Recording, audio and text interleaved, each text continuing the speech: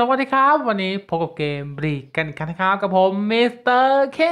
วันนี้ครับ ค่าพลังกับข้อมูลของกาชาใหม่ของ 3 ตัวละครใหม่ได้มาแล้วครับ ซึ่งผมเข้าไปดูมาแล้วล่ะ ดูมาแบบเลยเมื่อกี้นี้ซึ่งผมรู้สึกตกใจนิดนึงนะ ตกใจเรื่องอะไร มาดูกันครับ เริ่มจากกาชานี่เลยครับ กาชา 3 ตัวละครใหม่เลยนะ คือโทชิโร่คุงครับ เคนปาจิครับ และก็เจ้าเมงครับอิคาคุนั่นเอง ซึ่งเป็นร่างบางไคเลยนะ โทชิโร่คุงกับอิคาคุเนี่ย ส่วนเคนปาจิครับ มาแบบแนวอุ้มอ่าอุ้มลูกมาด้วยครับยาจิรุนั่นเองอุ้มลูกติดหลังมาด้วยครับเทปาจิซึ่งกาชานี่ครับ มาวันพรุ่งนี้เลยนะ เวลาบ่ายสองโมง จบอ่าหมดครับวันที่8เลยนะ ก็อยู่ค่อนข้างประมาณ10วันแล้วครับ อยู่10วันเลย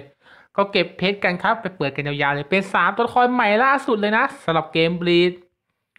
ก็กาชาครับ มันจะแตกต่างจากกาชาอื่นๆ อยู่ตรงที่อัตราการออกของ 5 ดาวคูณ 2 นะครับ คูณ 2 เลยเข้าดูอัตราการออกกันครับซึ่งปกติครับอยู่ที่ 3%ครับ แต่ในการใช้นะ อัตราการออกของ 5 ดาวของกาชานี้คือ 6%เลยนะครับ คือคูณ คูณ 2 กันไปเลย ซึ่งก็ทำให้ออก 5 ดาวได้ง่ายยิ่งขึ้นนั่นเอง ก็ถือว่าดีนะ แต่อย่าเพิ่งชะล่าใจครับ ความดีของมันไม่ได้มามาแบบทำให้เราดีใจอย่างเดียวเลย มันทำมาเพื่อเราจะได้เสียใจนะครับ เสียใจเพราะอะไร ไปดูล่างสุดก่อนเลยครับ นี่ครับ ตัวละครแถมหรือตัวละครอื่น ๆ ที่มารวมอยู่ในกาชานี่ครับ รวมตัวละครหลัก ๆ ที่เป็นตัวละครใหม่ 3 ตัว มีทั้งหมด 9 ตัวเลยนะครับ โอ้โห หมายความว่าถึงเราจะเปิดได้สีลุงครับ มันก็มีโอกาสที่เราจะไม่ได้ตัวใหม่ มันจะมีโอกาสที่เราจะได้ตัวละครที่เป็นตัวละครเก่าหรือตัวละครอื่นๆ ในกาชานี้ด้วยนะครับ ซึ่งมันร้ายกาจตรงนี้แหละทำให้เราดีใจว่ามันคูณ 2 แต่มันดันมีตัวละครอื่นๆ มาปนเปด้วย โอเค ผมจะพูดเกี่ยวกับเกี่ยวกับตัวละครอื่นๆก่อนละกัน ตัวละครอื่นๆครับ เริ่มจากไอ้ปู่ยามะก่อนเลยปู่ยามะสีแดงนี่เป็นปู่ยามะสายตี skill ที่เก่งที่สุดแล้วแล้วนะ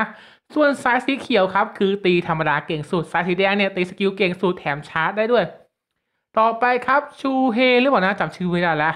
อ่าฮิซางินะครับเอ่อตัวละครนี้เป็นสายตีระยะไกลนะ เป็นสายตีธรรมดาครับ ค่อนข้างจะเก่งใช้ได้เลยนะ สายตีธรรมดาของเจ้าตัวเนี้ยต่อไปครับคิระครับ ตัวละครนี้ผมไม่เคยเห็นใครใช้นะ แต่รู้สึกว่า skill จะวงค่อนข้างกว้างอยู่นะครับ ก็เป็นตัวละครหนึ่งเลยนะที่ค่อนข้างจะเล่นสนุกอยู่นะ ก็ไม่ได้อ่อนมาก ต่อไปครับไอ้เจ้า X เอสปาดาสีไอผมสีสีชมพูเนี่ย ผมจำชื่อไม่ได้เลยนะ แต่เห็นเขาว่าไอเจ้าเนี่ยเก่งจัดๆเลย ผมก็ไม่เคยเล่นนะ แต่เห็นพวกฝรั่งพูดพูดกันว่าไอเจ้าเนี่ยเก่งมากๆเลยนะ ในบรรดาเอสปาดาเนี่ย ต่อไปครับคือไอเซนครับไอเซนล่างมีปีกไอเซนล่างนี้เป็นหนึ่งตัวละครเลยนะที่เอาไปลงในโหมด PVP ก็ได้ เพราะมันบัฟพลังโจมตีให้กับเพื่อนร่วมทีมให้ดีมากๆเลยครับ ต่อไปคือซุยฟงครับซุยฟงตัวนี้เป็นตัวที่เก่งที่สุดแล้วนะสำหรับซุยฟง ซึ่งไม่รวมล่าที่เป็นล่าพิเศษนะซุยฟงล่างนี้เก่งที่สุดแล้วนะครับซึ่งถ้าให้พูดเกี่ยวกับพวกไอหกตัวที่เป็นตัวแถมเนี่ยผมว่ามันก็ใช้ได้ทุกตัวเลยนะ แต่ผมก็มีเกือบครบทุกตัวเลยแหละ โอเค เรามาพูดงานหลักเลยครับ คือสามตัวละครใหม่เลยสามตัวละครใหม่ครับเริ่มจากเคนปาจิเลยครับ เป็นสายตีธรรมดาอีกอีกแล้ว ซึ่งผมผิดหวังหน่อยนะที่จะเป็นสายตีธรรมดา น่าจะมีสายตี skill ของเคนปาจิเพิ่มอีกสักร่าง เพราะตอนนี้มีแค่ร่างของพันปีร่างเดียวเลยที่เป็นสายตี skill โอเคครับพลังโจมตีธรรมดาครับอยู่ที่ 773 แล้วก็รูปมันค่อนข้างเท่นะมียาจิรุห้อยหลังด้วยเนี่ย skill killer ครับโจมตีกัปตันหรือหัวหน้าหน่วยแรงขึ้น skill ติดตัวครับ ลด damage ที่ได้รับครับ ลง 16%แค่เห็น skill killer แค่เห็น skill ติดตัวหรือ skill link บวกกับสายการโจมตีที่เป็นสายตีธรรมดา ไม่ต้องคิดมากเลยครับ ไอ้เจ้านี่มาในโหมด PVP แน่นอนเลย ไม่ต้องคิดมากเลยไอ้เจ้าเนี่ยมา ตัวเป็นตัวใหม่ในโหมด PVP แน่ๆก็เดี๋ยวมาดูกันว่าเคนปาจิร่างเนี้ยที่สร้างมาเฉพาะในโหมด PVP เนี่ยจะเก่งขนาดไหนครับ เรามารอดูกันแล้วกันว่าพรุ่งนี้จะมีคนใช้ในโหมด PVP หรือเปล่า แต่ผมว่ามีแน่ๆแหละ มันสร้างมาเพื่อ PVP เลยเคนปาจิเนี่ย ต่อไปครับโทชิโร่คุงครับ โทชิโร่คุงผู้มากับพลังโจมตีโคตรเยอะเลยคือ 782 ครับ skill ไอพลังโจมตี skill เนี่ย 782 เลยนะ รู้สึกว่าเท่ากับจูฮาบัคเลยนะครับ เยอะจัดๆเลยเจ้าเนี่ย มาทีเดียวโหอย่างเยอะเลย ส่วน skill killer ครับ โจมตี Hollow แรงขึ้น skill ติดตัวครับคือ เมื่อเลือดเต็มครับ ต้องเลือดเต็มนะ จะเพิ่มพลังทุกอย่างเลย จะเพิ่มพลังโจมตีทุก ๆ อย่างเลยนะ 25%ครับ ก็ต้องเลือดเต็มเท่านั้นนะ โทชิโร่คุงร่างนี้ถึงจะเก่งที่สุด ซึ่งไม่เหมาะกับโหมด PVP แน่นอนครับ ไม่เหมาะแน่ๆแต่ถ้าจะเอาไปตีบงตีบอสเนี่ยผมว่าใช้ได้เลยนะ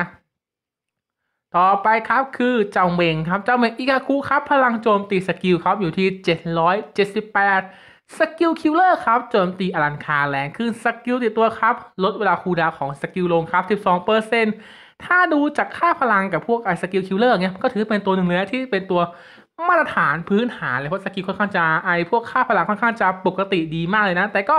เยอะนะครับค่าพลัง สรุปนะครับสามตัวละครใหม่เนี่ยผมว่ามันน่าได้ทุกตัวเลยล่ะ เคนปัจจิเนี่ยสร้างมาเพื่อในโหมด PVP 100%เลยสร้างมาเพื่อมันเลย ส่วนโทชิโร่คุงเนี่ยก็เอาไปปราบดอด้านน่าจะดีนะเพราะพลังโจมตีมันค่อนข้างเยอะ แล้วก็ skill ติดตัวมันครับคือห้ามเลือดลดเลยนะอันนี้อันนั้นคือปัญหาสำหรับต้องเอาไว้เล่นตีบอสเท่านั้น โหมด PVP ไม่น่าไหวครับ ส่วนไอ้เจ้าอีกาคุเนี่ยก็คงเป็นโหมดล่าบอสเท่านั้นแหละ ก็เป็นตัวเป็นสามตัวใหม่ที่น่าได้จัดๆนะ ส่วนไอ้กาชาเนี่ย ข้อเสียของมันก็คือไอ้พวกตัวละครแถมอีก 6 ตัวเนี่ยแหละนี่แหละคือปัญหาของพวกกาชานี้แต่ผู้เล่นใหม่ครับ ผมว่าไม่ต้องกังวลหรอกเพราะพวกผู้เล่นใหม่ไม่มีพวกตัวละครเยอะแยะอย่างนี้อยู่แล้ว ก็ไม่ต้องเป็นไรไม่ต้องคิดมากไปถึงได้ตัวละครที่ไม่ใช่ 3 ตัวนี้ก็ผมว่าเล่นได้นะ เพราะมันก็เก่งอยู่นะ พวกตัวละคร 6 ตัวท้ายเนี่ย แต่สำหรับผู้เล่นเก่าๆก็คงจะคิดมากหน่อยแหละเหมือนผมเนี่ยคิดมากหน่อยก็ดีครับมันคูณอัตราการออก 5 ดาวเลยคูณสอง ก็เดี๋ยวช่วงบ่ายอาจจะมี skill ออกมานะสามารถดูได้ทางแฟนเพจเลย แต่ผมจะมารีวิว skill พร้อมเปิดกาชาครับในวันพรุ่งนี้เลยนะ จะได้เจาะลึกเลยว่า skill เนี้ย